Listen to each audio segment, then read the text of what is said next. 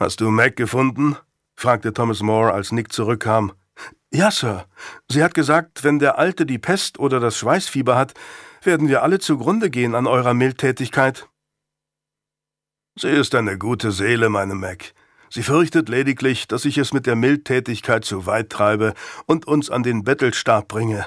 Sie denkt, es mangle mir an Vernunft. Ich weiß, Sir. Aber Nick war überzeugt, Lady Mac sorgte sich unnötig.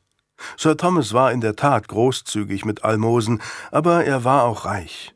Und kein Mann, der den Blick für das rechte Maß je verlor. Komm, mein Junge, lass uns ein Stück am Fluss entlang gehen. Sir Thomas wandte sich nach rechts, wo der Uferpfad nach hundert Schritten in ein lichtes Wäldchen eintauchte. Hier, nimm du das Buch wieder.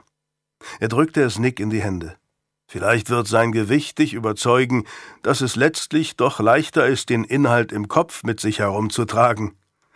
Nick nahm es bereitwillig, aber er antwortete nicht. Sir Thomas warf ihm einen kurzen Seitenblick zu. Du weißt, dass Schweigen dem Gesetz nach als Zustimmung zu deuten ist, nicht wahr? Ist das nicht ein törichtes oder gar gefährliches Gesetz? Inwiefern? Nun, es gibt viele Gründe, die einen zum Schweigen zwingen können. Loyalität, das Gewissen, das Bestreben, einen anderen zu beschützen. In solchen Fällen muss man schweigen, obwohl man gerne Einwände erheben würde. Wenn das Gesetz aber sagt, Schweigen bedeutet Zustimmung, dann wird der Schweigende per Gesetz missverstanden. In dem Fall muss er sein Schweigen vielleicht brechen, entgegnete Thomas More. Loyalität, das Gewissen oder der Wunsch, einen anderen zu schützen, sind redliche und gottgefällige Motive, aber vor Gericht geht es in erster Linie darum, die Wahrheit ans Licht zu bringen. Nick blickte zum Himmel auf. Dunkle Wolken zogen heran, und nach wenigen Augenblicken verschluckten sie die Sonne. Nick fröstelte. Du schweigst ja schon wieder, Nicholas, zog Sir Thomas ihn auf. Mir scheint, du bist niedergeschlagen. Nein, Sir Thomas, aber ich beginne zu ahnen, dass dieser gemeinsame Spaziergang kein Zufall ist und nichts Erfreuliches zu bedeuten hat. Das macht mich vielleicht ein wenig nervös. Wie kommst du darauf? fragte Sir Thomas neugierig.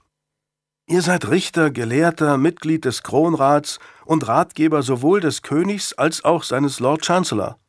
Ihr habt so viele wichtige Dinge zu tun, darum kann ich mir kaum vorstellen, dass ihr zum Zeitvertreib meine Gesellschaft sucht. Ich fände es bedauerlich, wenn der Eindruck entstanden wäre, ich hielte eine Unterhaltung mit den Studiosi meiner kleinen Schule für Zeitverschwendung. Es klang eine Spur pikiert und schuldbewusst. Von den zwölf Studiosi eurer kleinen Schule, wie ihr sie zu nennen beliebt, wären elf klügere Gesprächspartner als ich, wie ihr sehr wohl wisst, Sir. Ihr wollt mich nach Hause schicken, nicht wahr? Ja, es ist so. Lass mich dir die Gründe erklären, mein Junge. Oh, ich kenne die Gründe, Master Wilford hat völlig recht. Ich habe einfach nicht das Zeug zum Gelehrten, und es gibt zu viele Jungen in England, die einen Platz in eurer Schule mehr verdient haben als ich. Du hast mich unterbrochen und unterstellst, meine Gedanken zu kennen. Das ist ebenso ungehörig wie gefährlich. Tut mir leid, Sir. Die lose Zunge ist ein Familienübel. Der Pfad schlängelte sich näher ans Ufer. Ein halb verfallenes Ruderboot lag mit dem Kiel nach oben im Gras.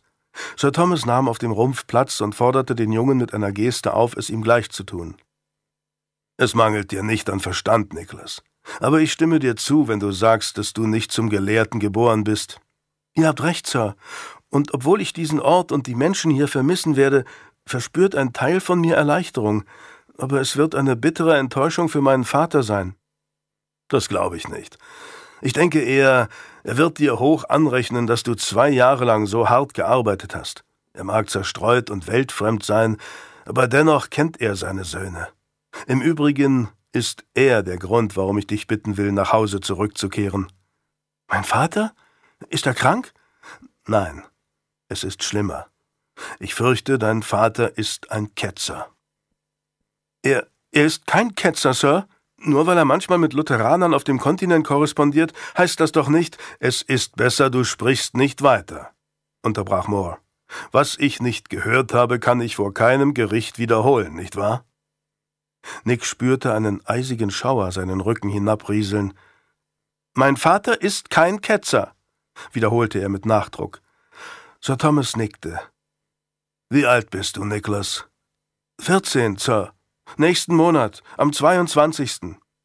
Ah, an St. Andrew. Sir Thomas lächelte flüchtig. Und der Jahrestag der Schlacht von Bosworth, fügte Nick hinzu. Ach, richtig, murmelte Sir Thomas. War es nicht dein Urgroßvater, der die gefallene Krone unter einem Dornbusch gefunden und sie dem siegreichen Henry Tudor aufs Haupt gesetzt hat? So berichtet es unsere Familienlegende, räumte Nick ein. Wenn es wirklich stimmt, haben die Warringham nicht lange gebraucht, um vom Gipfel des Ruhms zu stürzen und in Bedeutungslosigkeit zu versinken. Das verbittert dich? Nein. Verbitterung wäre ein zu großes Wort dafür. Vielleicht ist es mir ein wenig peinlich. Aber ich denke, das ist alles. Gut so, lobte Sir Thomas. Es beweist, dass du dich nicht um weltliche Eitelkeit scherst. Vierzehn also. Ich hätte gedacht mindestens sechzehn. Aber daran können wir nichts ändern. Du musst nach Hause gehen und ihn zur Vernunft bringen, denn auf mich wird er nicht hören, fürchte ich. Nick schüttelte mutlos den Kopf. Auf mich erst recht nicht. Die meiste Zeit vergisst er, dass es meine Geschwister und mich überhaupt gibt. Er. er lebt in einer völlig eigenen Welt. Dann musst du ihn wachrütteln. Du weißt, was er riskiert, sagte Thomas More eindringlich und ließ den Jungen nicht aus den Augen. Er muss Vernunft annehmen. Aber könnt ihr ihn nicht beschützen, Sir Thomas? Ihr wisst doch, dass er harmlos ist, und er ist euer Freund. Thomas Moores Blick war voller Mitgefühl, aber ebenso unerbittlich. Er ist mir teuer, räumte er ein. Aber kein Ketzer ist harmlos, Nicholas. Und kein Ketzer kann jemals mein Freund sein. 1560 bis 1563 London, März 1560 Das Eisen ist heiß, sagte der Constable, und das Funkeln in den Augen verriet seine freudige Erwartung. Hier ist ein Mann, der seine wahre Bestimmung gefunden hat, murmelte Isaac. Der Constable legte die Hand um den Griff des langen Brandeisens, das in einem Kohlebecken lag, hob es hoch und zeigte den Zuschauern das rot glühende M. Ein beifälliges Raunen ging durch die Menge. Die junge Frau am Pranger fing an zu schluchzen. Sie stand leicht vorgebeugt, Hals und Handgelenke steckten in den dafür vorgesehenen Löchern. Ihr Kleid war mit Flecken übersät, wo die Dreckfladen und sonstigen Wurfgeschosse der Umstehenden sie getroffen hatten. Sie hatte die Augen zugekniffen, und so sah sie nicht, wie der Constable das Eisen hob. Zielsicher drückte er es ihr mitten auf die Stirn, und die Verurteilte stieß einen langgezogenen Schrei aus. Die Schaulustigen applaudierten und johlten. Das war's, deine zwei Stunden sind um, Mädchen, sagte der Constable und zwickte sie in die linke Brust, ehe er den Bolzen zurückzog und die hölzerne Zwinge aufklappte. Und jetzt hör schon auf zu flennen. Wir hätten dir auch ein Ohr abschneiden können. Verdient hättest du's. Die Leute von Sheepside begannen sich zu zerstreuen. Die junge Frau richtete sich langsam auf und torkelte nach links, gefährlich nah an den Rand der erhöhten Plattform. Isaac stieg die Stufen hinauf und nahm ihren Ellbogen. Komm, Sarah. Mir ist so schlecht, flüsterte sie. Das wird wieder, entgegnete er und gab sich Mühe, unbekümmert zu klingen. Jetzt lass uns erst einmal von hier verschwinden. Sarah zitterte am ganzen Leib. Das war der Schock, nahm Isaac an, oder womöglich auch die Kälte. Das dünne Kleid war kein ausreichender Schutz gegen den ruppigen Wind. Aber Isaac hatte seinen Umhang zu Hause vergessen und konnte ihr deshalb nur seinen Arm anbieten. Das Mädchen stützte sich darauf und ließ sich von der Plattform helfen. Sie gingen die belebte Straße entlang. Wo willst du mich hinbringen? fragte Sarah. Ihre Stimme klang dünn. Keine Ahnung, gestand er. Wo kannst du denn hin? Nirgends. Was hast du angestellt? Sie brauchte ein Weilchen, ehe sie es fertigbrachte, ihm zu antworten. Ich. Ich hab die Audleys vergiftet, meine Herrschaft. Sie sind aber nicht gestorben, und ich wollte sie auch nicht umbringen. Sie sollten sich nur mal ein paar Tage so richtig elend fühlen so wie ich und alle anderen, die für sie schuften müssen. Und? Hat es geklappt? Isaac konnte ein Grinsen nicht unterdrücken. Sarah nickte. Aber das war nicht wert, mein Leben zu ruinieren. Ich hätte nie gedacht, dass Sie mir auf die Schliche kommen. Und jetzt weiß ich überhaupt nicht, was aus mir werden soll, Isaac. Das Brandmal auf der Stirn würde natürlich verheilen, aber keine Haube würde es je vollständig verdecken, dafür war es zu groß. Von heute an würde jeder, der Sarah sah, auf den ersten Blick wissen, dass sie etwas Abscheuliches ausgefressen hatte, denn das M stand für Missetäter. Sie würde nie wieder anständige Arbeit finden, egal wohin sie ging. Isaac griff nach seiner Börse, öffnete sie und nahm Sarahs schwielige Hand. Ihre Nägel waren ganz abgekaut. Das hatte sie als kleines Mädchen schon gemacht, als sie in die Krippe gekommen war, erinnerte er sich. Ein Waisenkind von Königin Marys Gnaden. Isaac ließ seine Pennies in ihrer Hand klimpern. Hier. Das kann ich nicht annehmen, protestierte sie halbherzig. Er winkte ab. Schon gut. Morgen ist Sonnabend, da verdiene ich immer gut beim Pferderennen in Mile End. Du wettest? Er schüttelte den Kopf. Ich reite. Die Londoner Gentlemen lassen es sich etwas kosten, wenn ihre Gäule ein Rennen gewinnen. Er verschwieg, dass er seinen Lohn gelegentlich gleich wieder verlor. Beim Hahnenkampf oder bei der Bärenhatz, auf die er leidenschaftlich wettete. Sie waren an der Einmündung zur Thames Street angelangt, wo wie üblich ein hektisches Durcheinander herrschte. Fuhrwerke, Reiter und Fußgänger drängten sich auf der Straße, und viele fanden einen Moment Zeit, um die Magd mit dem frischen Brandmal auf der Stirn zu begaffen. Zwei Burschen spuckten auf die Straße, kaum dass sie sie passiert hatten. Sarah war stehen geblieben und starrte furchtsam auf das Gewimmel. Isaac, was, was soll ich nur tun? Sie war bleich, ihr vormals hübsches Gesicht wirkte eigentümlich starr. Sicher schmerzte die Brandwunde höllisch, doch was ihr vor allem zu schaffen machte, war die Furcht. Es wird bald dunkel, ich, ich weiß nicht, wo ich hin soll. Kennst du das Savoy? fragte er. Du meinst die Ruine draußen vor der Stadt, wo die Beutelschneider und Straßenräuber und solches Gesindel hausen? Es gibt schlimmere Orte, wo du landen könntest. Weil ich jetzt selbst zum Gesindel zähle, sagte sie fassungslos. Er hob kurz die Schultern und nickte. Im Savoy gibt es einen Kerl mit einem Holzbein. Geh zu ihm und bestell ihm einen Gruß von mir. Er wird dir weiterhelfen. Er küsste sie auf die Wange. Viel Glück, Sarah. Es dämmerte schon, als er die Kaufmannsvilla an der Ropery erreichte und das Tor war verschlossen. Isaac klopfte an und nach wenigen Augenblicken öffnete ihm der Diener, der die Pförtnerkarte bewohnte. Danke, Hugh. Isaac trat über die Schwelle.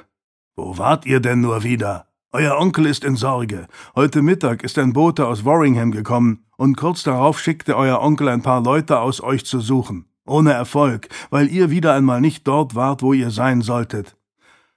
Isaac antwortete nicht. Warringham. Nichts vermochte ihm so abrupt Bauchschmerzen zu verursachen wie dieser Name. Wütend stieg er die Treppe zur Halle hinauf. Seine Tante und sein Onkel saßen mit ihrem Sohn und einem Fremden am Tisch aber ehe Isaac sie begrüßen konnte, flog etwas wie eine Kanonenkugel in einem grünen Kleid auf ihn zu, und im nächsten Moment klammerten sich zwei Arme um seinen Hals. Isaac! Gott sei Dank! Isabella! Er strich seiner zwölfjährigen Schwester über den Rücken und drückte die Lippen auf ihren dunklen Schopf. Ihr Gesicht war an seinem Hals vergraben, und er fühlte eine warme Nässe. Isabella war der einzige Mensch auf der Welt, den Isaac vorbehaltlos liebte unerschütterlich, bedingungslos und abgöttisch. Vielleicht hättest du die Güte, dich zu uns zu gesellen, Isaac, wo Gott schon ein Wunder gewirkt und dich nach Hause geführt hat, lud sein Onkel Philipp ihn ein. Isaac befreite sich behutsam aus Isabellas Umklammerung, nahm ihre Hand und führte sie zum Tisch. Seine Tante Laura saß neben ihrem Gemahl, ihre Augen waren gerötet, so als hätte sie geweint. Ihr Sohn Cecil saß ihr gegenüber, und der Mann neben ihm, den Isaac zuerst nicht erkannt hatte, war Jasper Pembroke, der Sohn des Stewards von Warringham. Isaac setzte sich neben ihn und zog Isabella auf den freien Stuhl an seiner Seite, weil er sie in seiner Nähe haben wollte. In Warringham sind die Pocken ausgebrochen, berichtete Jasper. Der Neffe Lepidot ist krank, er. Womöglich kommt er durch, es ist noch zu früh, um sicher zu sein, aber er hat sein Augenlicht verloren. Isaac wollte schlucken und konnte nicht blind. Lepidot war sechs Jahre alt und blind. Jasper sah ihn an. Dein Bruder sagt, du musst nach Hause kommen. Das war wirklich das allerletzte auf der Welt, was Isaac wollte. Was könnte ich denn tun? fragte er. Eine erbärmliche Abwehr. Etwas völlig Neues, Isaac, gab sein Onkel zurück. Du könntest Verantwortung übernehmen und die Belange deiner Familie ausnahmsweise einmal über deine Wünsche stellen. Ja, das klingt großartig, Sir, konterte Isaac. Ich wette, ich wäre eine richtig große Hilfe.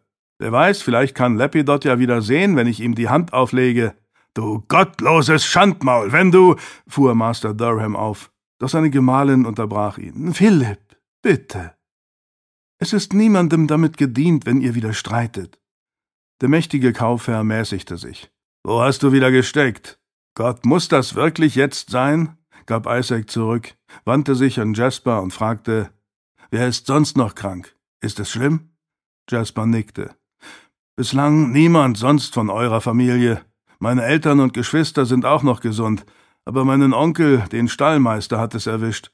Im Gestüt ist es am schlimmsten. Master Durham erhob sich. Isaac, ich rede mit dir. Würdest du mich gütigst nicht ignorieren? Ich wähnte dich in der Krippe. Du hast in der Nacht vor Aschermittwoch an der Bankside eine Wirtshausschlägerei angezettelt und bist vor dem Richter gelandet. Ich habe dein Bußgeld bezahlt, nicht zum ersten Mal, und du hast eingewilligt, während der Fastenzeit in der Krippe zu arbeiten, um mich zu entschädigen. Weißt du überhaupt, was ein Ehrenwort ist, was es bedeutet? Isaac sprang auf. Ich war dort, rief er wütend. Es war eine Buße, die ihm wenig ausmachte, denn er war gern in der Krippe.